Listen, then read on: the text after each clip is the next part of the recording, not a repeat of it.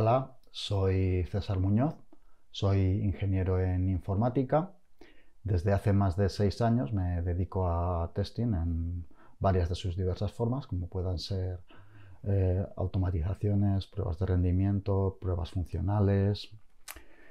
voy a impartiros este curso de automatizaciones de Selenium para Shadow Root.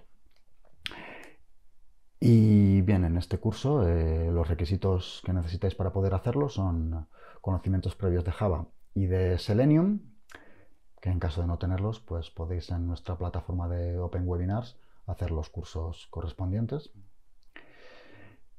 En el índice, en el curso veremos cuatro secciones, que son eh, primero lo que es una introducción de lo que es el Selenium y lo que son las páginas dinámicas.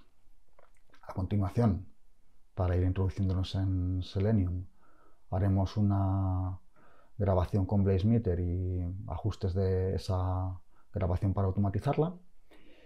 Ya entonces en la siguiente sección nos meteremos en la automatización de páginas dinámicas con Shadowroot y en la última sección veremos eh, algo de más complejidad como es la automatización de una página con un doble Shadowroot.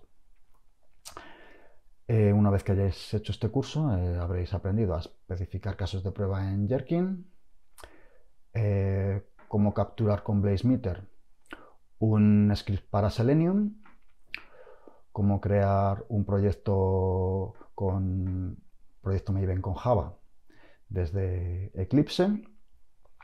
Y por último cómo automatizar una página dinámica que emplea Shadowroot.